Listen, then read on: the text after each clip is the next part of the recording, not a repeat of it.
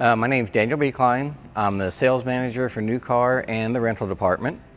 I'm from Jasper, Indiana, born and raised. Toyota quality, they always take pride in knowing that they built it the right way. And if you look at the Consumer Reports magazines, they always rank Toyota highest among the resale value, lowest cost of ownership, longest time on the road. I mean, most of your Toyotas out there, there's a few of them, 80% of them are still on the road for 20 years.